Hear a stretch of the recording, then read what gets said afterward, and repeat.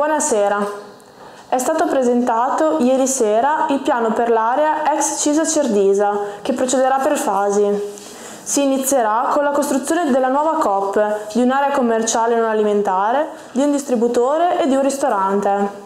Contestuale anche la realizzazione della viabilità di servizio.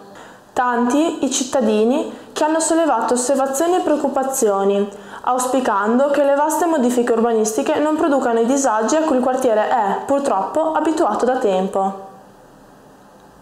Annunciato un nuovo ospite per lo Youth Festival è Diego Fusaro, filosofo noto per le sue pubblicazioni riguardanti il pensiero di Marx.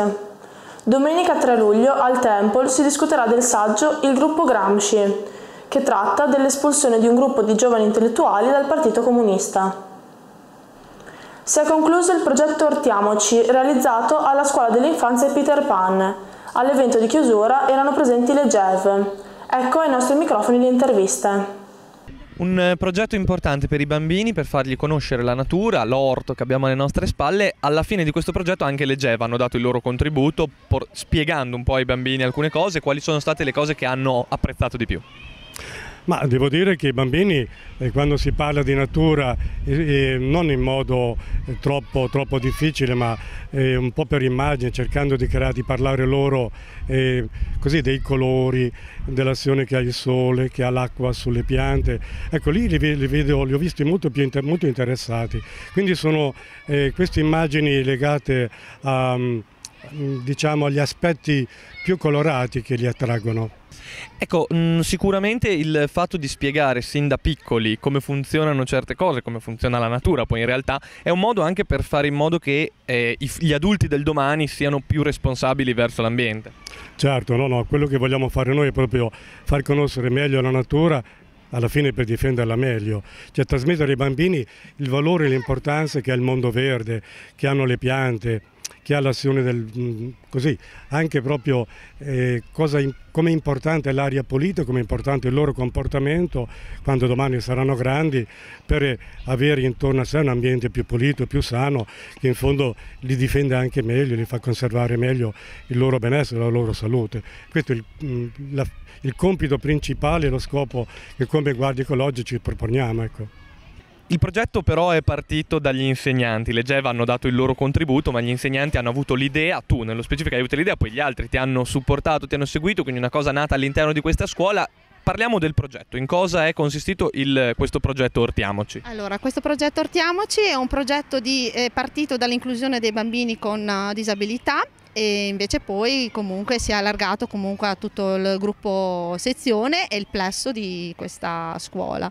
E siamo partiti praticamente dall'educazione alla terra, l'abituare i bambini comunque al contatto con la terra, con il territorio, con la natura in genere, poi fino a sbocciare praticamente un vero e proprio progetto orto, non solo dal punto di vista didattico educativo ma anche dal punto di vista emotivo relazionale perché eh, in contatto con l'ambiente, con la natura, i bambini si relazionano maggiormente piuttosto che in un'aula.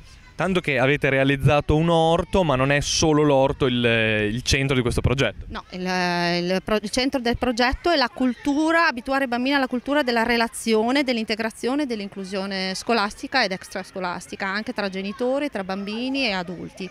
Eh, cercare comunque una, una, un approccio attraverso l'orto è stato comunque una dinamica eh, proficua perché eh, abbiamo cercato soprattutto di eh, eh, integrare e includere i bambini che comunque erano delle diverse sezioni che a volte non, no, eh, non sempre si conoscono e quindi questo comunque ha consentito comunque di, di rapportarli, quindi era soprattutto l'aspetto emotivo e relazionale più che quello didattico e quello delle conoscenze degli strumenti.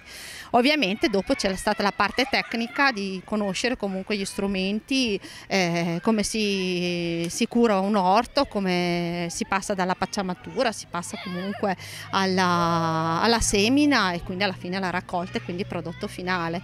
Mi auguro per la festa finale che abbiamo anche i nostri prodotti come i pomodori, le carote e quant'altro che i bambini proprio vedono nella, nella, nella loro terra e nel loro territorio e poi di sensibilizzare le persone, i familiari, le persone esterne che comunque non sia solo prodotto comunque attività educativa e relazionale solo delle insegnanti o dei bambini. Un'ultima cosa, il progetto è andato bene come abbiamo appena scoperto e quindi probabilmente si ripeterà anche negli anni a venire. Eh, sicuramente e questo è l'inizio di un progetto che potrà eh, essere eh, comunque continu potrà continuare sicuramente se c'è la volontà ovviamente quest'anno c'è stata una grossa collaborazione da parte di tutto lo staff dalle collaboratrici al personale ATA e quindi speriamo di continuare così come, come facciamo noi per curare il nostro orto? cosa gli diamo? Li... cosa gli diamo? Lo facciamo crescere. Facciamo crescere le piante, ma come le facciamo crescere le nostre piante? Con le, un po' di, di un po' di acqua lo diamo e dopo cresceranno. Eh, Tommaso, oltre l'acqua cosa bisogna fare con, per curare l'orto, Tommaso? Cosa, cosa per, facciamo? Noi? Facciamo che, che le piante non cadono. Eh, non cadono e quindi cosa ci abbiamo messo quell'altro giorno? Dei piantine? bastoni per, la, per, lasciarle stare in piedi. Sì, e poi cosa abbiamo costruito noi? Chi è quel signore lì?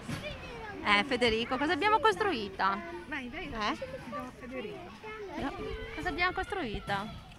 Il? Spa lo spavento? Spaventapasseri. Sì? Dove? Eh, Zoe. Cosa serve lo spaventapasseri? Per, per fare spaventare gli uccellini. Perché cosa fanno gli uccellini? Perché mangiano le nostre piante. Noi cosa abbiamo piantato? Le fragole, i, i pomodori e anche l'insalata. Passiamo allo sport.